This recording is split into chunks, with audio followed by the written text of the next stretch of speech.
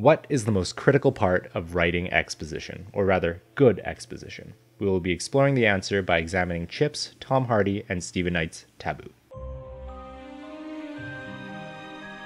Taboo is the brainchild and passion project of Tom and Chips Hardy, released in 2017 on BBC and FX. It follows the antics of James Delaney, played by Tom Hardy, in 1814 London, a time when England and America were at war.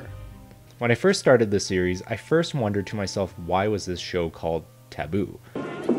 One thing Africa did not cure is that I still love you.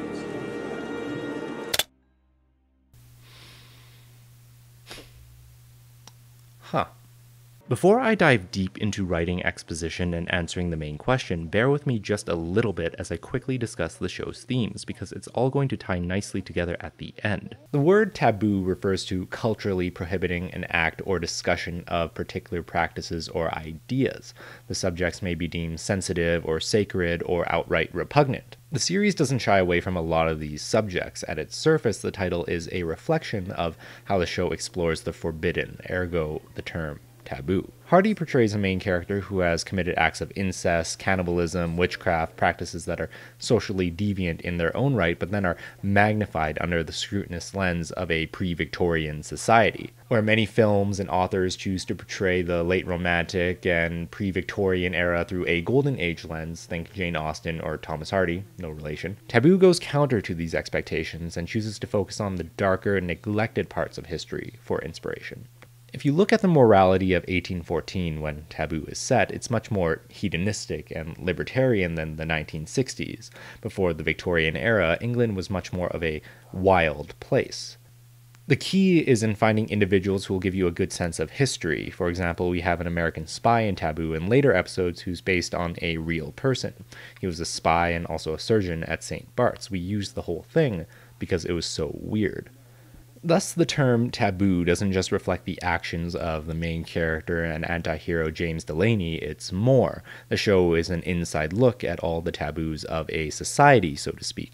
It lets us dive deep into a London shrouded in dark secrets, rumors, and corruption. James Delaney has to navigate through it all the illicit dealings of the East India Trading Company and the Crown, the espionage of the Americans, and even the immoral citizens of London as they try to ravage the remnants of his father's legacy. Everybody has something to hide, and because of that, people get hurt. You do realize this whole business is about revenge. And why would James Delaney hate the India so? What the hell did you do to him, Stuart? So, now what about exposition? The thing about this show is, as the audience, we begin the show by knowing incredibly little about everyone and everything that is going on. Funny enough, there's very little exposition, and this is more or less by design. It's a result of the writer, Steven Knight's process. Steven Knight has an unusual method when he begins writing a story, and that is he kind of ignores structure. If it's an original idea, I find it's much nicer to just start writing, read it back, and then think about what's going on. and in the end, you write, it's, it's not very economical because you write a lot of stuff and then afterwards impose some sort of structure on it. But the whole three act thing, I don't know. As a writer, this means Steven Knight doesn't always know where he's going or where he's coming from or really where the next beats of the story will be. In an interview with Collider, Steven Knight says, the way I tend to work, which isn't necessarily the most economic in terms of time, is to have the central character and just send him off to do something. I don't even know what he's about to do when I do that. An example is having him walk along the foreshore because you know that's going to look great, and then somebody comes up to him, but you genuinely don't know who that is, and then they have a conversation, and from that conversation, you find something out. The dog's here live off the flesh from suicides. Never known one go tamely to a man's hand. I know it sounds weird, but that leads the plot and takes you in another direction. So, really, the reason why we, the audience, know incredibly little about what's going on at the beginning is because Knight also doesn't really know either. Knight's method gives him a creative freedom to add twists and turns to a story how he likes, but it also helps him create exposition. In the book Story by Robert McKee, he makes some crucial points on what encompasses well written exposition. One of the key ideas he brings up is using exposition as ammunition. Your characters know their world, their history, each other, and themselves. Let them use what they know as ammunition in their struggle to get what they want. And we can see how this principle applies to the scene we just saw.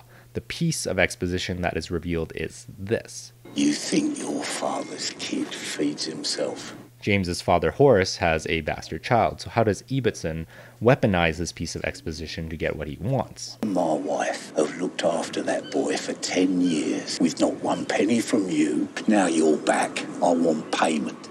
He reveals that James is indebted to him. Among the many pieces of info that are revealed in this scene, it also reveals how people perceive James and his family. Ibbotson speaks to Delaney's witchcraft he picked up while in Africa and the fact that James is a liar like his father. The thing is, since we know very little about James from the very start, he could have a number of things that creep up from the past that implicate him. Robert McKee also says this You do not keep the audience's interest by giving it information, but by withholding information, except that which is absolutely necessary for comprehension. And with Steven Knight, he withholds everything from the start. I always think if the opening's got to really explode and ask lots of questions, and you've just got to keep pulling the rug out from under people's expectations. He makes the audience engage the story by asking questions, and he controls what questions the audience asks because, as we've learned, it's the same questions he's asking. In the beginning of the show, I found myself asking, Where is he going and why a lot. Where is James off to? Oh, he's returning home. Who's there?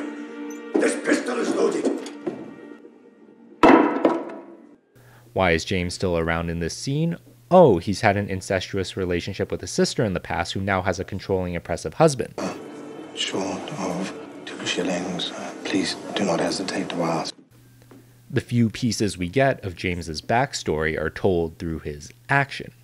Start off with backstory, but I think the backstory comes bit by bit. Mm-hmm. And, uh, as you write the characters, the scenes happen, then I think you you start to think of a reason why they might behave like that and why they might be like that. Um, and then by the end you've sort of almost got a complete backstory for mm. that character. But along the way, I wouldn't fill in the gaps too too much before getting to the end. Mm -hmm. It's almost a double edged sword the way Steven Knight has written this character because in the beginning we don't always understand James's motivation because not enough is revealed to us. But James Delaney is a fairly interesting enough character and Tom Hardy does a great job with him long enough until that information and motivation is revealed. James, of course, is not the only character with skeletons in his closet. Along the way, we learn more about his sister, Brace, Godfrey, the Americans, and many others. These are characters who have their own dark secrets that are now at risk of being exposed because James Delaney is back. And the one who is the most at risk? Sir Stuart Strange, head of the East India Company. But unlike most of the secrets we learn, this one isn't revealed until quite a bit later on in the season. At the end of episode 5, in fact. Involved in an illicit shipment of slaves for personal profit, were complicit in the deaths of those slaves and in the subsequent concealment of the facts. And you believe that those men are senior directors within the Honourable East India Company. And there's good reason for this too. Robert McKee states that the wise writer therefore obeys the first principle of temporal art save the best for last. For if we reveal too much too soon, the audience will see the climaxes coming long before they arrive if Strange's evil deeds were revealed at the beginning of the series, it would have been pointless and irrelevant. But now, in the height of the series' conflict, this piece of exposition is being weaponized as ammunition against Strange. Up until now, we've only received small hints of what has happened. The records show he was once in your own regiment. And I do know the evil that you do because I was once part of it.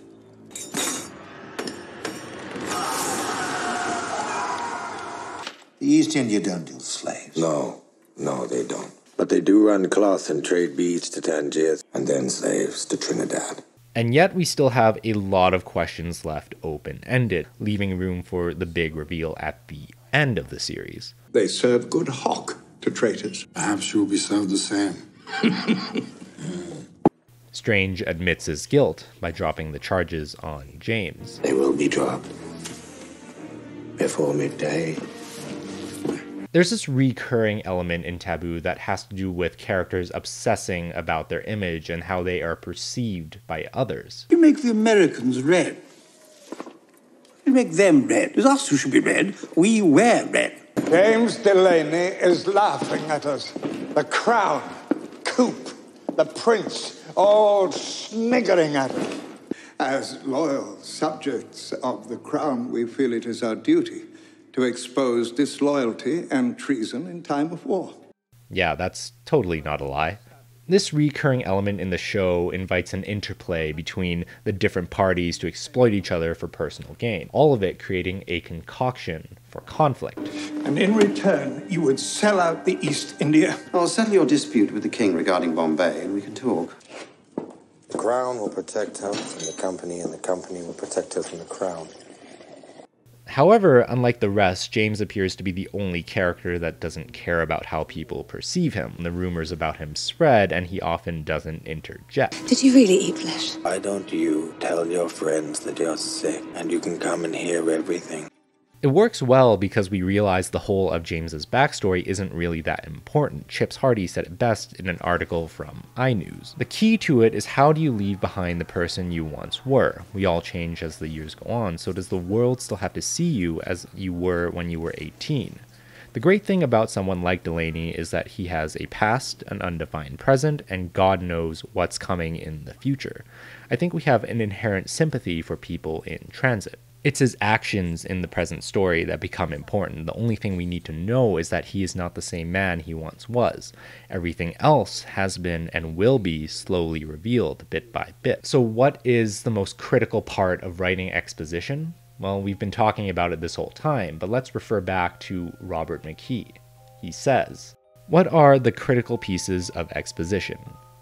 Secrets, the painful truths characters do not want known. Thanks for watching.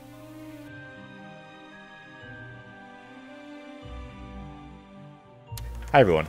So, new format for the videos. Let me know what you think. I'm always experimenting with things like this, and your feedback is incredibly valuable.